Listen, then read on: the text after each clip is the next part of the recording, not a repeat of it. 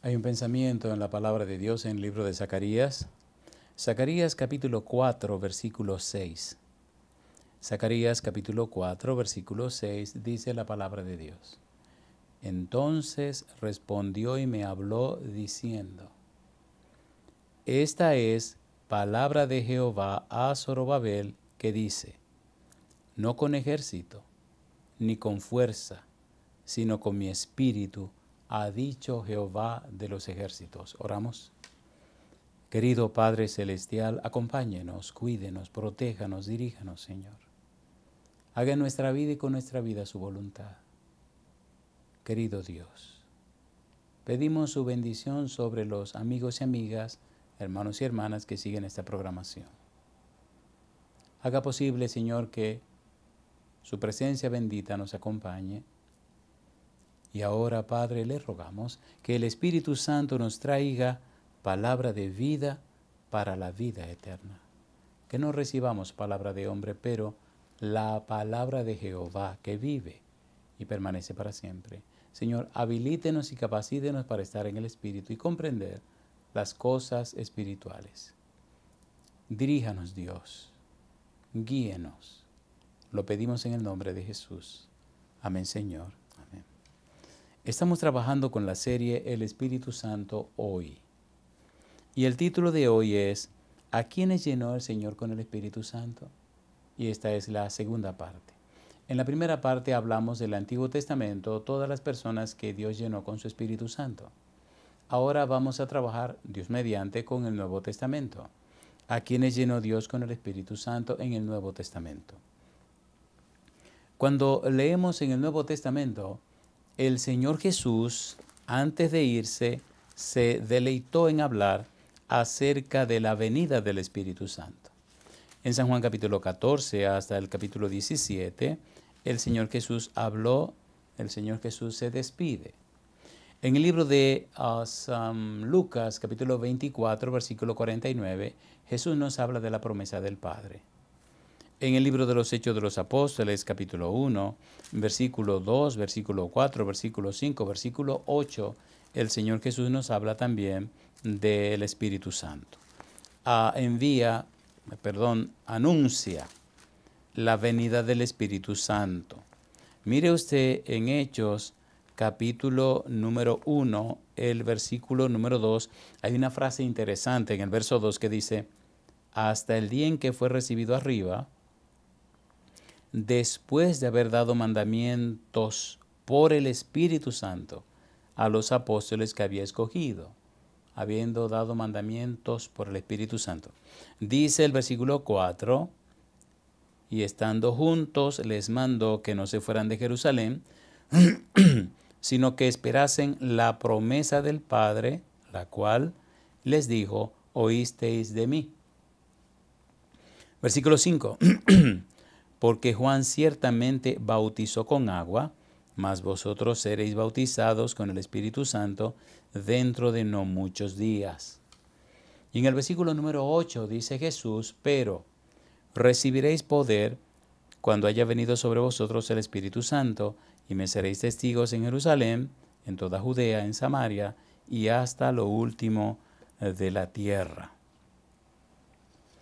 Cuando estudiamos la persona de Jesús, descubrimos la presencia del Espíritu Santo. Hay mucho que decir. Veamos rápidamente un resumen de todo lo que pudiéramos decir. En San Mateo capítulo 3, versículo 16, mire usted quién aparece en el bautismo de Jesús. San Mateo capítulo 3, versículo 16. Dice la Biblia, y Jesús Después que fue bautizado, subió luego del agua, y aquí los cielos le fueron abiertos, y vio al Espíritu de Dios que descendía como paloma y venía sobre él. Jesús lleno del Espíritu Santo. El Espíritu Santo viene sobre Jesús. En San Mateo capítulo número 12, el versículo número 18, mire lo que dice. He aquí mi siervo a quien he escogido, mi amado en quien se agrada en mi alma. Pondré mi espíritu sobre él y a los gentiles anunciará juicio, hablando de Jesús. Por tal razón Jesús es lleno del Espíritu Santo. En el libro de San Lucas, en el capítulo 1, el versículo número 15, mire lo que dice Lucas 1, versículo número 15, hablando de Juan el Bautista. Porque será grande delante de Dios, no beberá vino ni sidra, y será lleno del Espíritu Santo aún desde el vientre de su madre. Jesús lleno del Espíritu Santo. Ahora Juan el Bautista lleno del Espíritu Santo. Recuerde que en el tema anterior, cuando hablamos del Antiguo Testamento, vimos que José fue lleno del Espíritu Santo, Besalel, Moisés, Balaam, Josué, Otoniel, Gedeón, Jefté, Sansón, Saúl, David, Elías, Eliseo, Amasai, Azarías, Jaasiel, Zacarías, el anuncio del Mesías que será lleno del Espíritu Santo, Ezequiel, Daniel, Miqueas, todos llenos del Espíritu Santo. Ahora llegamos al Nuevo Testamento y vemos a Jesús cómo recibe la unción del Espíritu Santo. Y ahora vemos cómo Juan el Bautista, desde el vientre de su madre, sería lleno del Espíritu Santo. El Espíritu Santo, una pieza clave, una pieza imprescindible, una persona que no se puede sustituir dentro de lo que es la obra de Dios. No podemos ignorar el Espíritu de Dios. No podemos echarlo a un lado. Es de vida o muerte conocer el Espíritu Santo. Jesús lleno del Espíritu Santo. Juan el Bautista lleno del Espíritu Santo. La madre de Juan el Bautista, Elizabeth. San Lucas capítulo 1, versículo 41. Y aconteció que cuando oyó Elizabeth la salutación de María, la criatura saltó en su vientre y Elizabeth fue llena del Espíritu Santo. Zacarías, capítulo 1, versículo 67, el padre de Juan el Bautista. Y Zacarías su padre fue lleno del Espíritu Santo y profetizó diciendo, ahora empieza la experiencia en la iglesia cristiana, Jesús lleno del Espíritu Santo. Juan el Bautista lleno del Espíritu Santo. Elizabeth, su mamá, llena del Espíritu Santo. Zacarías, su papá, lleno del Espíritu Santo. Amigo, amiga, hermano, hermana, no me diga que todo esto es casualidad. Si el Espíritu Santo no está presente, entonces lo que estamos haciendo, con todo el respeto, es una payasada. ¿Qué podemos hacer sin el Espíritu Santo? Nada, Jesús dijo, sin mí nada podéis hacer. Necesitamos conocer, comprender y entender la persona y la obra del Espíritu Santo. En San Lucas capítulo 2 nos habla la experiencia de Simeón, cómo Dios le había prometido que antes de morirse vería al ungido, vería al Mesías, vería a Jesús. Lucas capítulo 2, versículo 25 al 27 dice la Biblia, y aquí había en Jerusalén un hombre llamado Simeón, y este hombre justo y piadoso esperaba la consolación de Israel, y el Espíritu Santo estaba sobre él. Y le había sido revelado por el Espíritu Santo que no vería la muerte antes que viese al ungido del Señor. Y dice la Biblia, y movido por el Espíritu, vino al templo. Y cuando los padres del niño Jesús lo trajeron al templo para hacer por él conforme al rito de la ley, él le tomó en sus brazos y bendijo a Dios, eh, diciendo, Ahora Señor, despide a tu siervo en paz, conforme a tu palabra, porque han visto mis ojos tu salvación. Simeón lleno del Espíritu Santo. En San Lucas capítulo 3 versículo 22, mire qué cosa linda. San Lucas capítulo 3 versículo 22. Y descendió el Espíritu Santo sobre él en forma corporal como paloma, y vino una voz del cielo que decía, Tú eres mi Hijo amado, en ti tengo complacencia. San Mateo, San Marcos, San Lucas, conocidos como evangelios sinópticos o con el mismo enfoque, repiten los tres ciertos casos y ciertas experiencias con el Señor Jesús. San Lucas capítulo 4, versículo número 1. Dice Lucas 4.1, Jesús, lleno del Espíritu Santo, volvió del Jordán y fue llevado por el Espíritu al desierto. Versículo 14. Y Jesús volvió en el poder del Espíritu a Galilea y se difundió su fama por toda la tierra de alrededor. San Lucas capítulo 4, versículo 18. El Espíritu del Señor está sobre mí por cuanto me ha ungido para dar buenas nuevas a los pobres, me ha enviado a sanar a los quebrantados de corazón, a pregonar libertad a los cautivos y vista a los ciegos, a poner en libertad a los oprimidos. El cumplimiento de la profecía que ya leímos en Isaías capítulo 61, versículo 1 y 2. Cristo lo repite ahora y dice en el versículo 21, y comenzó a decirles, hoy se ha cumplido esta escritura delante de vosotros. Jesús sabía que estaba lleno del Espíritu Santo. En el libro de San Juan, en el capítulo 1, se presenta otra prueba o evidencia más de Jesús lleno del Espíritu Santo es clave, amigo, amiga, es de vida o muerte, es imprescindible conocer, comprender y entender la, obra, la vida y la obra del Espíritu Santo. No podemos ignorar eso. San Juan capítulo 1, versículo 32 hasta el versículo 34. Mire lo que dice la palabra de Dios. Juan 1, 32 a 34. También dio Juan testimonio diciendo, vi al Espíritu que descendía del cielo como paloma y permaneció sobre él. Y yo no le conocía, pero el que me envió a bautizar con agua, aquel me dijo, sobre quien vea descender el Espíritu y que permanece sobre él, ese es el que bautiza con el Espíritu Santo. Y dice Juan, y yo le di y he dado testimonio de que este es el Hijo de Dios. Juan vio al Espíritu cuando descendió sobre Jesús. Jesús lleno, ungido del Espíritu Santo. Seguimos leyendo en la palabra de Dios en el Nuevo Testamento la experiencia del Espíritu Santo.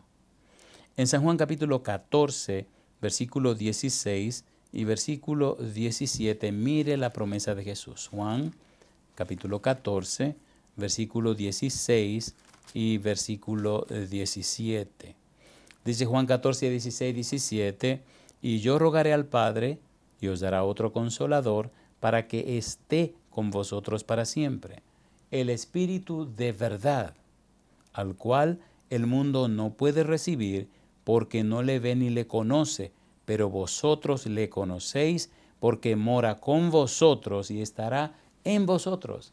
Jesús está prometiendo la unción del Espíritu Santo. Cuando Cristo resucita, San Juan capítulo número 20, cuando Cristo resucita, ¿qué hace con los discípulos? Dice la Biblia, San Juan capítulo 20, versículo 22, y habiendo dicho esto, sopló y les dijo, recibid el Espíritu Santo. Les imparte el Espíritu de Dios. Seguimos buscando y encontramos entonces que diez días después que Jesús se retira al cielo, entonces ocurre la maravillosa experiencia de la lluvia tardía, perdón, la lluvia temprana. El Espíritu Santo se derrama sobre los discípulos y los apóstoles. Hechos capítulo 2 versículo 4. Dice el verso 4, y fueron todos llenos del Espíritu Santo, y comenzaron a hablar en otras lenguas, según el Espíritu les daba que hablasen. Jesús lo promete, Jesús lo recibe el Espíritu Santo. Lo recibe Juan el Bautista, lo recibe Elizabeth, lo recibe Zacarías. Y ahora Cristo lo promete y se derrama sobre los discípulos y los apóstoles el día de Pentecostés. El Espíritu Santo. En Hechos capítulo 4 vemos cómo otra vez ocurre un fenómeno hermoso y maravilloso en Pedro. Hechos 4, versículo número 8. Dice Hechos capítulo 4, verso 8. Entonces Pedro, lleno del Espíritu Santo, les dijo, gobernantes del pueblo y ancianos de Israel, ¿de quién estaba lleno Pedro? Del Espíritu Santo. El Espíritu Santo es una persona clave en todo el ministerio, en todo el plan de la salvación. Hemos visto que desde el Antiguo Testamento el Espíritu ha estado presente en cada momento de la historia del pueblo de Dios y ahora en el Nuevo Testamento está presente en cada, en cada instante de la historia de la iglesia cristiana. Tan importante es esto del Espíritu Santo, tan importante y tan imprescindible es esto del Espíritu Santo. Y mire usted lo que Pablo dice en 1 Timoteo 3:16 cuando habla del misterio de la piedad. ¿En qué consiste el misterio de la piedad? Cuando nos habla del Señor Jesús. Dice Pablo en 1 Timoteo 3:16, e indiscutiblemente grande es el misterio de la piedad. Dios fue manifestado en carne y ahora dice, justificado en el Espíritu. Y sigue diciendo, visto de los ángeles, predicado a los gentiles, creído en el mundo, recibido arriba en gloria. Pero dice, justificado en el Espíritu. Dios fue manifestado en carne. San Juan capítulo 1, versículo 14, y el, verso, el verbo se hizo carne y entre nosotros. Justificado en el Espíritu. Número uno, el ángel Gabriel viene y habla con María, San Lucas capítulo número 1, y le dice que ese santo ser será engendrado por obra del Espíritu Santo. Queda claro entonces que la gestación de María es obra del Espíritu Santo. Jesús lleno del Espíritu Santo. En el bautismo Jesús recibe el Espíritu Santo. En San Mateo capítulo 12, versículo 28, dice que echa fuera los demonios por el Espíritu Santo. Jesús se somete al Padre, Jesús se somete al Espíritu Santo y el Santo Espíritu trabaja a través de Jesús para realizar los milagros y las maravillas. Jesús se somete a la voluntad divina, como usted y yo debemos hacerlo, para que el Espíritu Santo cumpla su obra, su misión en nosotros. Esto es un asunto serio. Esto es un asunto de vida o muerte. Oremos para que el Espíritu Santo nos despierte antes que sea demasiado tarde. Clamemos por la misericordia, la gracia y la bondad de Dios. Presentémonos delante de Dios sin cosas, sin méritos propios Rindámonos ante Dios y Él, y Él nos exaltará. El Espíritu Santo. En Hechos capítulo 5, versículo 32, mire usted lo que dice la palabra de Dios. Hechos capítulo 5, versículo 32. Recuerde, estamos con la serie El Espíritu Santo hoy y estamos respondiendo a la pregunta, ¿A quiénes llenó Dios con el Espíritu Santo? Ya vimos el Antiguo Testamento, ahora estamos en la segunda parte en el Nuevo Testamento. Vimos que el Señor, el Papá Dios llenó a Jesús con el Espíritu Santo, ah, llenó a Juan el Bautista con el Espíritu Santo, a la mamá de Juan, Elizabeth, a Zacarías, el papá de Juan. Este, Jesús mismo estaba lleno del Espíritu Santo.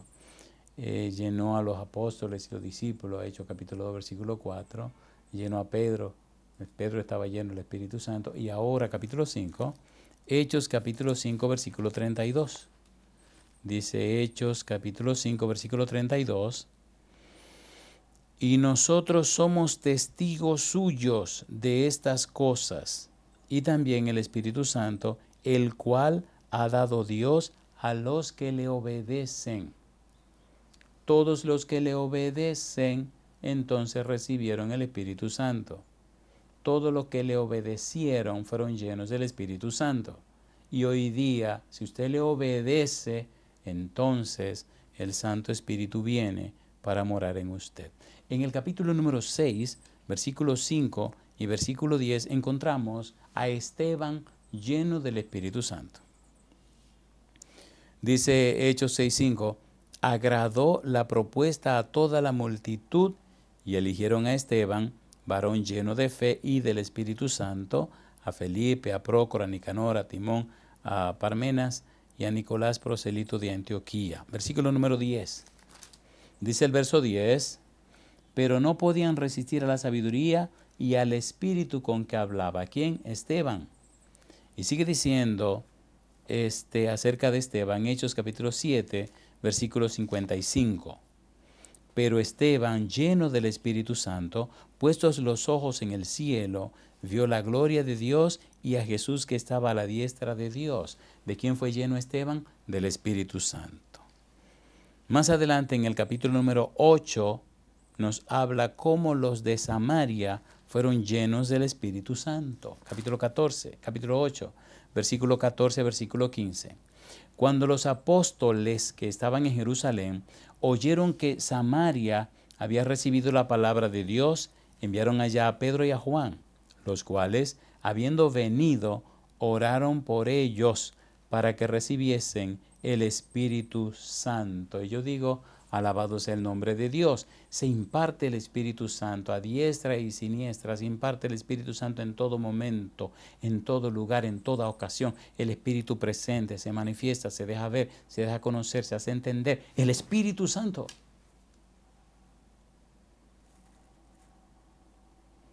Capítulo 9, versículo 17. Hechos 9, 17. Fue entonces Ananías y entró en la casa, y poniendo sobre él las manos dijo, hermano Saulo, el Señor Jesús, que se te apareció en el camino por donde venías, me ha enviado para que recibas la vista y seas lleno del Espíritu Santo. ¿De quién fue lleno Pablo? Del Espíritu Santo. ¿Quién vino a impartirle el Espíritu? Ananías, un hermano de la iglesia que estaba nada más y nada menos que en esa ciudad donde Pablo llegó para perseguir, encarcelar y maltratar a los hermanos.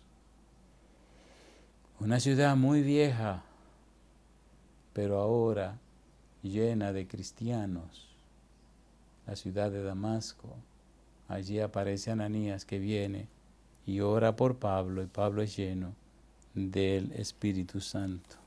Hay una declaración interesante en 1 de Corintios capítulo 7, versículo número 14.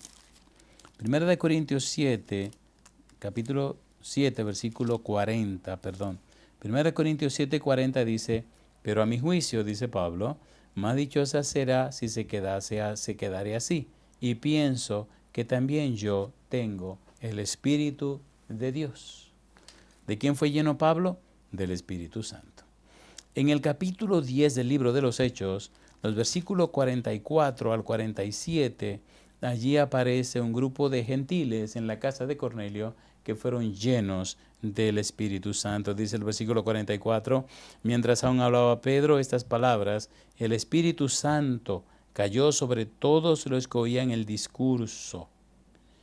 Y los fieles de la circuncisión que habían venido con Pedro se quedaron atónitos de que también sobre los gentiles se derramase el don del Espíritu Santo.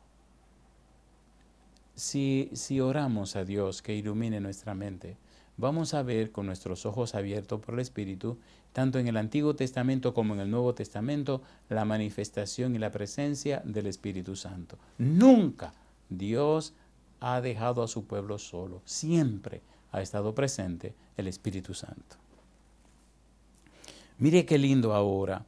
En el capítulo 11 del libro de los Hechos, mire ahora a Bernabé lleno del Espíritu Santo. Hechos capítulo número 11, eh, versículo 22 al 24. Dice el versículo 22. Llegó la noticia de que estas llegó la noticia de estas cosas a oídos de la iglesia que estaba en Jerusalén y enviaron a Bernabé que fuese hasta Antioquía. Este, cuando llegó y vio la gracia de Dios, se regocijó y exhortó a todos a que con propósito de corazón permaneciesen fieles al Señor. Versículo 24. Porque era varón bueno y lleno del Espíritu Santo y de fe, y una gran multitud fue agregada al Señor. Era bueno, lleno de fe, estaba lleno del Espíritu Santo. Amigo, amiga, quien convence de pecado, de justicia y de juicio es el Espíritu Santo. Quien convierte al pecador es el Espíritu Santo. Quien santifica al creyente es el Espíritu Santo. quien habilita al cristiano para el cumplimiento de la misión es el Espíritu Santo. La obra la hace el Espíritu de Dios. ¿Cómo podemos ser ignorantes a la persona y la obra del Espíritu Santo? ¿Cómo podemos estar predicando y hablando sin ser llenos y llenas del Espíritu de Dios?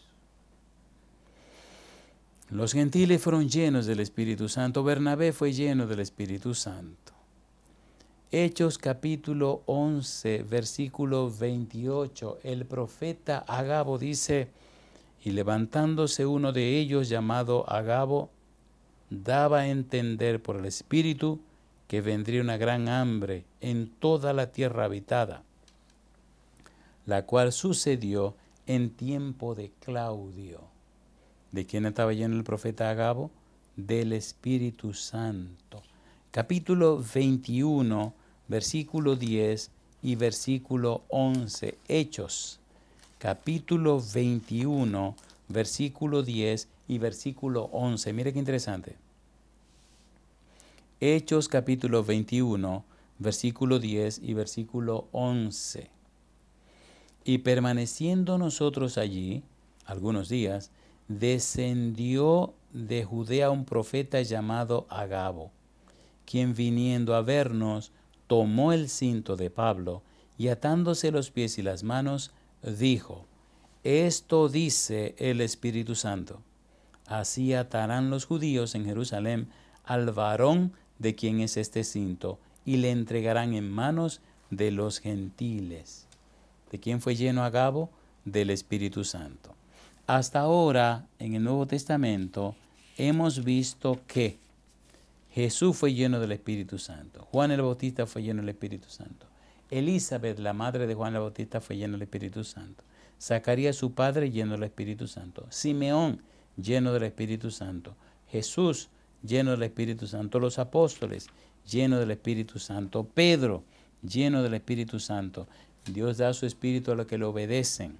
Esteban, lleno del Espíritu Santo, los de Samaria, llenos del Espíritu Santo, Pablo, lleno del Espíritu Santo, los gentiles, llenos del Espíritu Santo, Bernabé, lleno del Espíritu Santo, el profeta Agabo, lleno del Espíritu Santo. Hechos capítulo 13, versículo 52. Mire usted cómo los discípulos, llenos otra vez del Espíritu Santo. Hechos capítulo 13, versículo 52, y los discípulos estaban llenos de gozo y del Espíritu Santo. Bendiga, bendigo el nombre de Dios. Mi amigo, mi amiga, mi hermano, mi hermana, es, es de vida o muerte conocer, comprender y entender la persona y la obra del Espíritu Santo. Veamos más en Hechos capítulo 12, en Hechos capítulo 19, ah, perdón, Hechos 19, los versículos 2 al 7 nos relatan la historia de 12 personas que ni siquiera habían oído hablar del Espíritu Santo, pero estaban bautizadas en el bautismo de Juan. Y mire lo que hace Pablo el apóstol. Hechos capítulo 19, versículo 2 al 7. Dice el versículo número 2. Hechos 19.2. Les dijo, ¿recibisteis el Espíritu Santo cuando creísteis? Y ellos le dijeron, ni siquiera hemos oído si hay Espíritu Santo. Entonces dijo, ¿en qué pues fuisteis bautizados? Ellos dijeron, en el bautismo de Juan. Dijo Pablo, Juan bautizó con bautismo de arrepentimiento, diciendo al pueblo que creyesen en aquel que vendría después de él, esto es, en Jesús el Cristo. Cuando oyeron esto, fueron bautizados en el nombre del Señor Jesús, y habiéndoles impuesto Pablo las manos, vino sobre ellos el Espíritu Santo, y hablaban en lenguas y profetizaban. Eran por todos unos doce hombres, doce hombres llenos del Espíritu Santo como el apóstol Pablo les ministra y terminan siendo llenos eh, del Espíritu Santo. En el capítulo 21 del libro de los Hechos de los Apóstoles, mire qué interesante. Hechos 21, versículo 3 y versículo número 4. Hechos 21, versículo 3 y 4. Dice el versículo número 3. Hechos 21, 3. Al avistar Chipre, dejándola a mano izquierda, navegamos a Siria y arribamos a Tiro, porque el barco había de descargar allí. Y hallados los discípulos, nos quedamos allí siete días. Y ellos decían a Pablo por el Espíritu que no subiese a Jerusalén. Esos discípulos estaban llenos del Espíritu Santo. Qué, qué, hermoso es leer en la palabra del Señor la presencia del Espíritu en medio de su pueblo. Mira lo que dice el versículo número 11. Dice el verso 11, Hechos 21:11.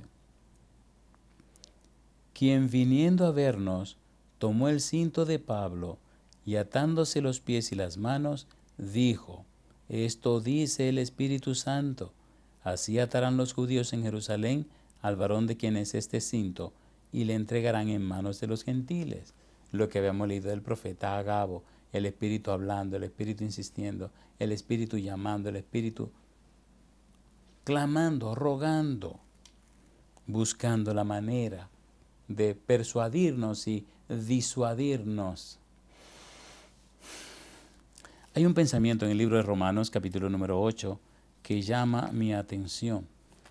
Romanos capítulo 8, mire lo que dice la palabra de Dios. Romanos capítulo 8, versículo 26. Romanos capítulo 8, versículo 26 eh, dice la palabra de Dios. Y de igual manera, el Espíritu nos ayuda en nuestra debilidad. Pues, ¿qué hemos de pedir como conviene? No lo sabemos. Pero el Espíritu mismo intercede por nosotros con gemidos indecibles intercede por nosotros con gemidos indecibles. ¿Quién intercede por nosotros? El Espíritu Santo. Cuando usted lee el libro de Romanos y se enfoca exclusivamente en el capítulo 8, usted queda maravillado y maravillada porque el capítulo 8 es una neumatología. El capítulo 8 enfatiza, exalta, resalta la persona del Espíritu Santo. Veamos una cita más y hagamos una breve parada en Romanos 8. Veamos los escritores bíblicos, los que escribieron la Biblia, quién fue que trabajó con ellos. Segundo de segunda de Pedro, capítulo 1, versículo 19 al 21. Segunda de Pedro 1, ah, versículo 19 al 21. ¿Quién inspiró a los escritores bíblicos? El Espíritu Santo. Segunda carta de Pedro, capítulo 1, versículo 19 eh, al 21. Dice el 19. Tenemos también la palabra profética más segura, a la cual hacéis bien en estar atentos como a una antorcha que alumbra en lugar oscuro, hasta que el día esclarezca y el lucero de la mañana salga en vuestros corazones. Entendiendo primero esto, que ninguna profecía de la Escritura es de interpretación privada. Dice ahora, porque nunca la profecía fue traída por voluntad humana, sino que los santos hombres de Dios hablaron siendo inspirados por el Espíritu Santo. ¿Quién inspiró la Biblia? El Espíritu Santo. ¿Quién trabajó con los escritores? El Espíritu Santo. ¿Quién ha sido la clave y el centro de todo esto? El Espíritu de Dios. En Romanos capítulo 8 encontramos algunos detalles interesantes acerca del Espíritu Santo. Bien, repasando, encontramos entonces en el Nuevo Testamento el Señor Jesús lleno del Espíritu Santo. Juan el Bautista lleno del Espíritu Santo su mamá Elizabeth, su papá Zacarías. Simeón lleno del Espíritu Santo. Jesús lleno del Espíritu Santo. Los apóstoles llenos del Espíritu Santo. Pedro lleno del Espíritu Santo. Dios le da su espíritu a los que le obedecen. Esteban lleno del Espíritu Santo. Las personas que había en Samaria, a quien le predicó Felipe, llenos del Espíritu Santo. Pablo lleno del Espíritu Santo, los gentiles llenos del Espíritu Santo, Bernabé, Agabo, los discípulos, los doce hombres, los discípulos de Chipre y los escritores bíblicos hablaron llenos del Espíritu Santo. Ahora en Romanos capítulo 8 queremos el tiempo que nos resta dedicarlo a Romanos capítulo número 8. Cuando usted lee Romanos capítulo 8, versículo 1, versículo 2, mire cómo comienza este capítulo. Romanos 8, 1 y 2. Dice el versículo 1. Ahora pues, ninguna condenación hay para los que están en Cristo Jesús, los que no andan conforme a la carne, sino conforme al Espíritu. Romano 8 presenta algo interesante, carne versus espíritu los que andan conforme al Espíritu. Versículo 2, porque la ley del Espíritu de vida en Cristo Jesús me ha librado de la ley del pecado y de la muerte. La ley del Espíritu de vida en Cristo Jesús. Hay una relación muy estrecha entre el Espíritu y Jesús. Y cuando usted sigue leyendo, encuentra cómo Pablo contrasta carne versus espíritu. Habla de la carne y habla del espíritu. Pero nos interesa avanzar un poco más y llegar al versículo número 14. Porque todos los que son guiados por el Espíritu de, de, Dios, estos son hijos de Dios. Si es verdad que usted es un hijo de Dios o una hija de Dios, entonces es imprescindible que el Espíritu le esté guiando. Ahora, si usted no está siendo guiado o guiada por el Espíritu Santo, hay que ver hijo de quién es porque aquí dice que son los hijos de Dios. Sigue diciendo el apóstol Pablo en el versículo número 26 y siguiente. De igual manera, el Espíritu nos ayuda en nuestra debilidad, pues que hemos de pedir como conviene, no lo sabemos. Pero el Espíritu mismo intercede por nosotros con gemidos indecibles. Dice ahora, más, el que escudriña los corazones sabe cuál es la intención del Espíritu, porque conforme a la voluntad de Dios, intercede por los santos. El Espíritu intercede por nosotros. El Espíritu se presenta delante de Dios en nuestro favor. Jesús intercede por nosotros. El Espíritu Santo intercede por nosotros. El Padre Celestial nos dio a Cristo Jesús. Por tal razón, el Padre, el Hijo y el Espíritu Santo nos quieren ayudar, nos quieren bendecir, nos quieren guiar, nos quieren dirigir, nos quieren salvar. ¿Cómo es posible que ignoremos al Espíritu de Dios? Dice el versículo 28, y sabemos que a los que aman a Dios, todas las cosas les ayudan a bien. ¿Y quiénes son estos? Y aclara Pablo, esto es, a los que conforme a su propósito son llamados. ¿Al propósito de quién? Al propósito de Dios. ¿A quiénes todas las cosas les ayudan a bien?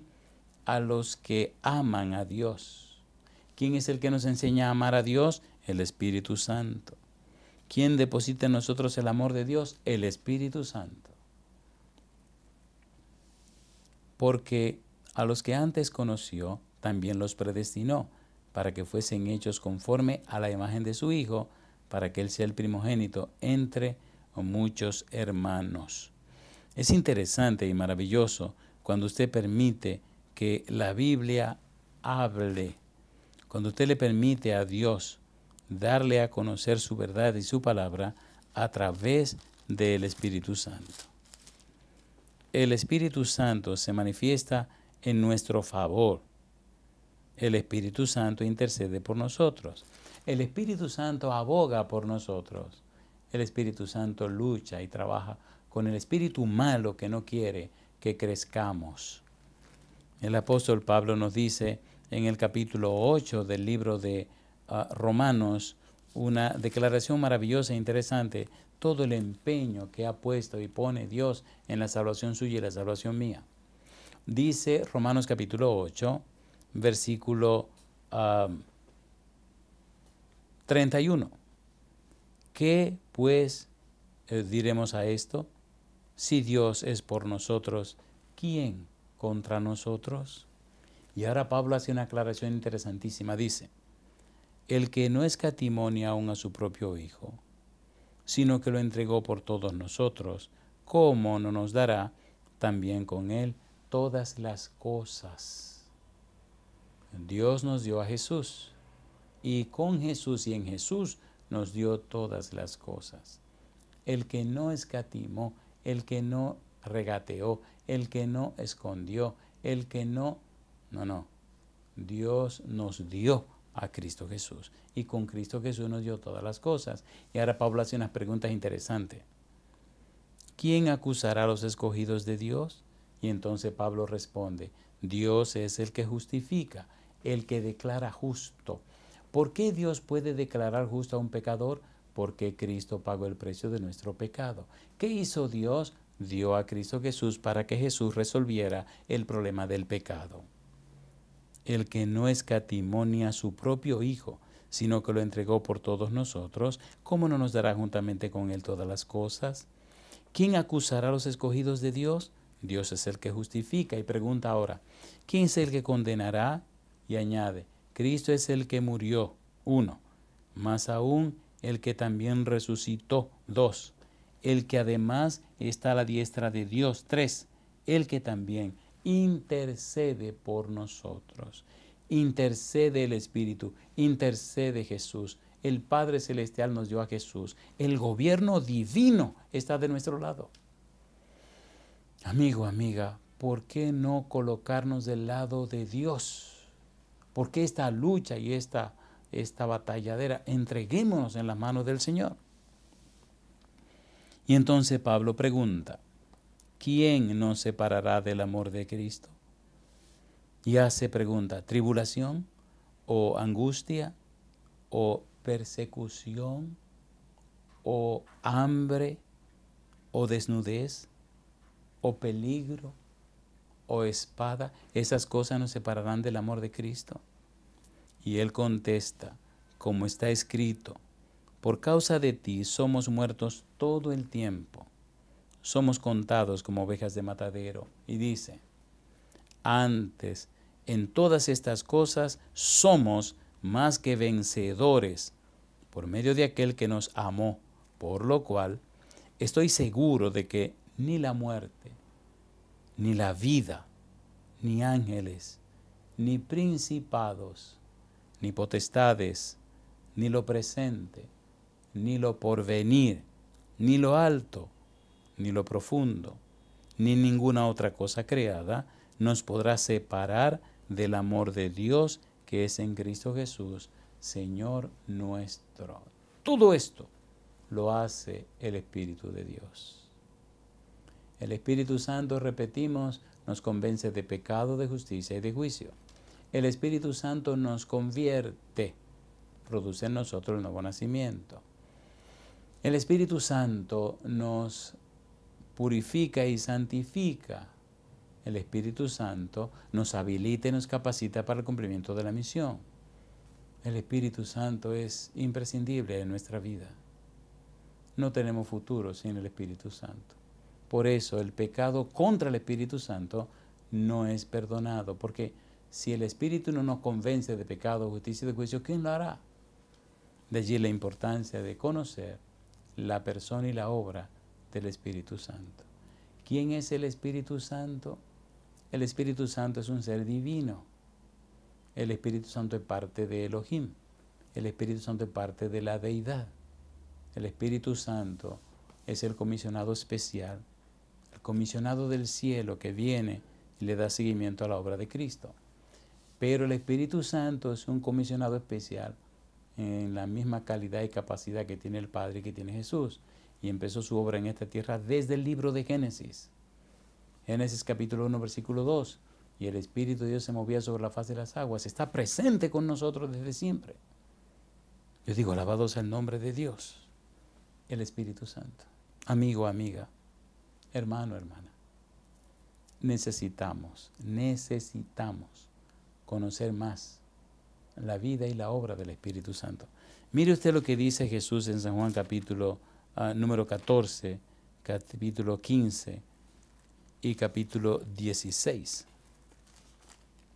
San Juan capítulo 14, en su empeño, sabiendo que se va, el Señor Jesús nos habla del Espíritu Santo. Juan capítulo 14, versículo 16, y yo rogaré al Padre, y os dará otro consolador para que esté con vosotros para siempre. El Espíritu de verdad, a cual el mundo no puede recibir porque ah, no le ve ni le conoce, pero vosotros le conocéis por cómo era con vosotros y estará en vosotros.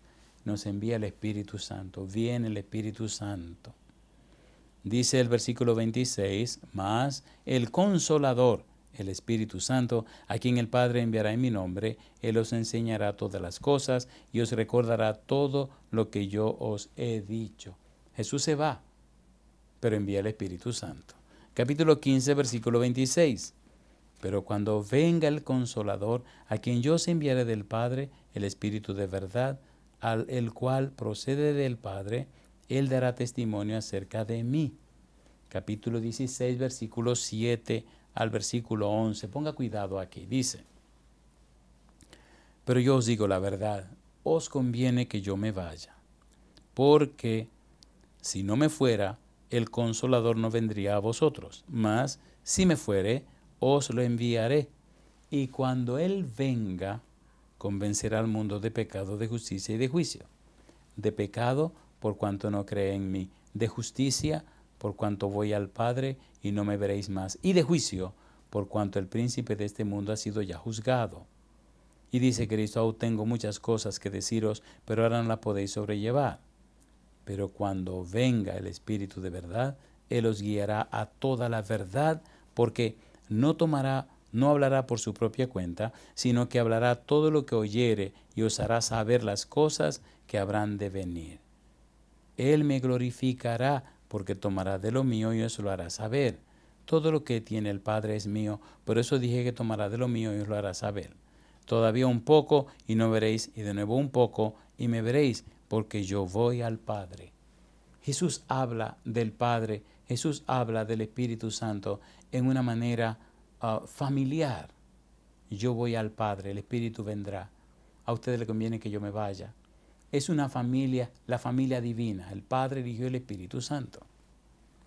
Amigo, amiga, hermano, hermana, permita a Dios, permita a Dios que el Santo Espíritu pueda llegar a la vida suya, entrar a la vida suya, trabajar en la vida suya. Por eso la pregunta, amigo, amiga, hermano, hermana, ¿acepta usted darle todo el derecho legal espiritual a Dios para que el Santo Espíritu venga a su vida y le convenza de pecado, de justicia y de juicio? ¿Acepta usted que el Santo Espíritu venga y le habilite y le capacite para el cumplimiento de la misión? ¿Acepta usted que el Espíritu Santo venga y le lave con la sangre preciosa de Jesús y le vista con su manto de justicia y le transforme con su gracia bendita y le sostenga con su mano todopoderosa y le capacite con los dones espirituales sobrenaturales para cumplir una misión especial? ¿Acepta usted que el Espíritu Santo venga y le transforme? Venga y produzca en usted el nuevo nacimiento, le convierta en una persona nueva, le haga nacer de nuevo. ¿Acepta usted a Jesús como su único y suficiente Salvador? Si usted dice sí, levante la mano y oremos a Dios. Querido Dios, querido Padre Celestial, le damos gracias por su santa palabra. Le damos gracias por darnos a Jesús. Le damos gracias por la obra del Espíritu Santo. Padre amado, le damos gracias por su amor, su bondad, su misericordia, su poder. Le amamos, le alabamos y le bendecimos, Señor. Nos rendimos a usted, aceptamos su voluntad cualquiera sea. Tómenos en sus manos como instrumento de bendición. Lo pedimos, Señor, en el nombre de Jesús. Amén, Señor. Amén, Jesús.